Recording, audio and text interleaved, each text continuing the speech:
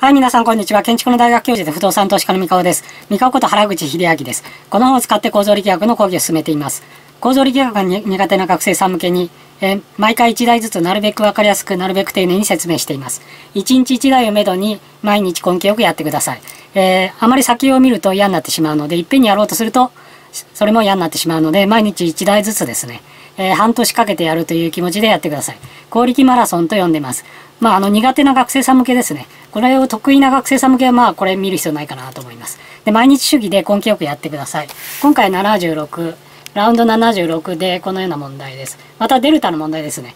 えー公式覚えてる人は、今まで何回かやって、公式覚えてる人は、割と解けると思うので、えー動画を一旦止めてやってみてください。これとこれのデルタ比較ですね。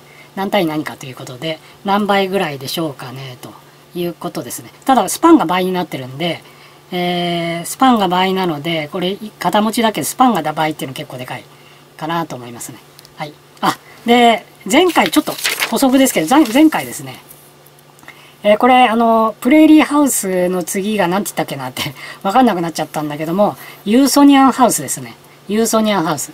あの、まあ、これをユーソニアンってあんまり言わないんだけども、あの、小さい L 字型の建物とか、まあ、前期はですね、シカゴ郊外のオークパークとかなんかで建ててましたけども、えーそれよりもずっと小さい建物で、しかも割と自然豊かな、えー起伏のある土地に埋め込むような感じで作るのが多くて、僕はそっちの方が好きですね。で、シンプルなんですね。こっちの方がシンプルで、L 字型とか T 字型が多いです。で、やっぱり流動的にこう、壁があってこう、まあ、ガレージの壁がスポッて出てて、こう、それに沿ってこう入って、で、えーこう、回り込んで入っていくような感じで入っていって、で、コアの周りをぐるっと行って、個室の方に行くような感じで、で、えー壁もはめ板でできて、水平線がピッピッピッと入ってて、で、棚板もこう水平になっててですね、非常に綺麗。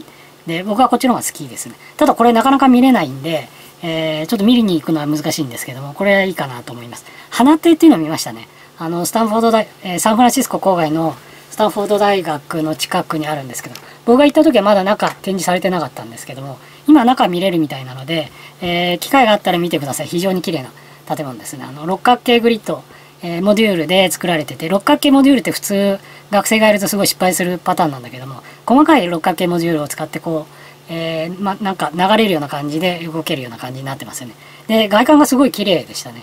外観のはめ板と色が非常に綺麗で、えあれは印象に残ってますね。あれ中見たかったなとは思ってますけど、ユーソニアハウスですね。なんかユートピアとですね、なんだっけな、北アメリカのことを、えー造語ですね、これ造語。えー小説の題に、題じゃない、中に出てきた造語で、それを、えーライトが使ってユーソニアハウスと言ったみたいです。あと、プレーリーはあの大草原ですね。アメリカの大草原で、えーまあ、ヨーロッパにはないようなアメリカの荒野の中の大草原で、これはいいネーミングかなと思います。まあ、両方ともあのライトが勝手にネーミングつけて、えー自分の、えー設計のブランドにしてたものですね。で、えーすいません。余談が過ぎましたね。で、これやりますね。で、これやっぱりあの、公式ですね。もう一回公式を覚え直します。もう何回かやってるかも覚えちゃったかもしれないけども、えーもう一回やりますよ。えーターミは3乗になって、ターミ角は2乗になると。力かけ L の3乗。力かけ L の2乗。で、分母に EI が来ると。曲げ、曲げ合成 EI が来るということですね。で、えー、3乗はデルタで 3, 三角形だから3乗と。で、ターミは2辺の角だから2辺だから2乗と。ごえー語彙に語呂合わせで覚えると。で、えーいい愛があると人生曲がらないで覚えてもいいですよと。分母の曲げ合成です。曲げ合成がでかいほど曲げにくいと。曲げにくいってことはターミとターミ角が小さいと。要するに分母にあるから、えー分母の数がでかいと、えーターミとターミ角が小さくなるということですね。で、えー下行って、たるんだシワの色。今回シワを使うと思いますね。シワ。これですね。これ。これ、えー L がスパンですよね。L がスパン。で、えー、等分布は、えー、3橋の工事西が残る380分、380分の4と5、あ、380分、384分の5と24ですね。で、えーメールを見ろで、ML が上で30 3, 3と6ですね。3と6。3と6ですね。えー M の場合は3と6で、手前側が3で、奥が6ということですね。手前が3で、奥が6ということです。いいですかね。えー奥奥の方がこっちより半分半分になってるということです。まあ当然ですね、こっち側にかかってるんで。で、えー隣行ってですね、あ、これあれですね。これ言っとかないとまずいんです。これ言っとかないと YouTube の規則に反してしまうんで、えー僕の本で一級建築スーパー記憶術から、えー引用してます。で、この絵も字も僕が書いてるんで大丈夫ということです。で、これ今回使います。ミニスカ片思いで 3, 3EI 分の PL の3乗と 2EI 分の PL の2乗と。で、等分布だと片手でハローで、片手でこの指がいっぱいある。で、えー、等分布と。で、こっちの指が、こっちこっちは指じゃなくて杭がいっぱい立ってると。桟橋で杭がいっぱい立ってるから、等分布と。桟橋の工事と。いうですね。ですかね。覚えましたかね。で、えっ、ー、と、両端固定の場合はいくつもある桟橋、桟橋、工事が入らないですね、桟橋。いくつもある桟橋と。で、えー、こっちはシータないですよ。ここ直角のまんまなんで、固定なんで直角のまんまと。で、桟橋の工事じゃなくて桟橋だけですね。えー、こっちよりも、えー、たわみが小さいと。この単純バリよりも両端固定のがもちろん、えー、固定してる分だけたわみが小さいわけですね。で、えー、いきますね。で、今回は、えー、と、えー、下行って、これは今の公式の話で、えー、これは3乗の話かな。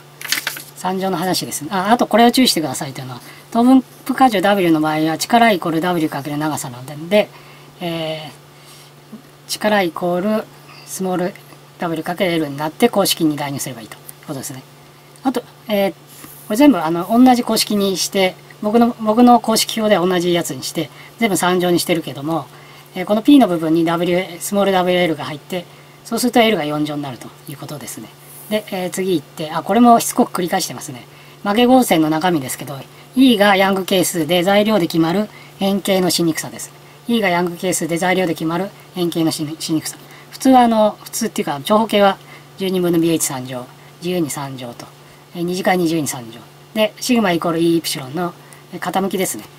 で、えー、応力度と歪み度の傾きです。グラフの傾きです。このグラフのタンジェントが E です。ですかね。で、えー、これが大きいと変形しにくいということですね。えー、ここれが大きいとですね、例えば圧縮でもこう、同じ力でも変形しにくいということです。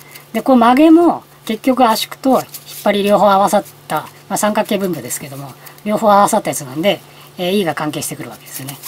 で、えー、I は、断面二次モーメントで、えー、断面形で決まる曲げにくさと。で、I が小、I が中。これ同じ断面積の場合、こう使うと小で、えこれ上下曲げると分かりますよね。で、こう、こう縦に使うと、えー、中で、こう H 型にさらにこう圧円、圧円こう、あの、H 型こうみたいにこうやると、これが一番でかい。なので、鉄は、えー、高いのと重いので、なるべく断面を小さくして効果を上げたいので、こういう形にして使うと。ほとんどこういう形ですね。H を横、H を横にした形で、えー、使ってますね。鉄はですね。で、今回は、え、ー、と、L で肩持ちは L で形そのままでですねミニスカ肩持ちで3分の3分のですね3分のこれはそのまんまです3乗ですねで、えー、こっちこっち、えー、単純バリュースパン2倍の場合は 2L を3乗しますね。スパン2倍なんで 2L を3乗で 8L の3乗になって、えー、8と48 6848だから 6, 6が残りますね。だから3分の1と6分の1の比になるんで、まあ、このままでも暗算でえー、2対1って分かりそう。まあでも、まあ、なるべく丁寧に説明すると、えー、3分の1と6分の1は整数比ではないんで、えー、6をかける。この大きい方の数字をかけてみるとちょうどこっちは2になるんでこう2になるんで2対1になると。なのでこれが答えです。なのでこのこの、えー、たわみはこっちが2でこっちが1と。要するにスパンが広がっちゃってるんでこのいくら単純針でこれ両側で支えててもですねえ結構いってしまうと。いうことです。スパンっていうのは結構一で大きく効くんで、3乗で効いてくるんで、えー、スパンを2倍にすると2人が4、2子が8倍で効いてくるということなので、え、結構苦しいということですね。で、肩持ちが一番苦しいんだけども、それでもこれをこう2倍にすると結構、えー、苦しいと。なので、これ、こっちが2対1とぐらいに、えー、減ってきますね。まあ、これあの、公式をそのまま適用するだけです。で、ここを注意するだけ。2L を3乗にすると。スパンを3乗なんで 2L を3乗と。そうすると 8L の3乗になって、で、6分の 1PL の3乗になると。まあ、EI と PL の3乗も両方同じなんで、え係数だけ比較するということですね。これもあの建築士の問題で出てるので、まあ暗記しろという話だと思いますね。えー、暗記しろという話だと思いますんで、しっかり覚えてください。もう何度もやってるから多分覚えてきてるかなと思いますけども、こういう問題出やすいので注意してください。はい、えー、今日は、えー、これで終わりですね。役に立ったと思われる方、いいねボタンとチャンネル登録をよろしくお願いします。それではさよなら。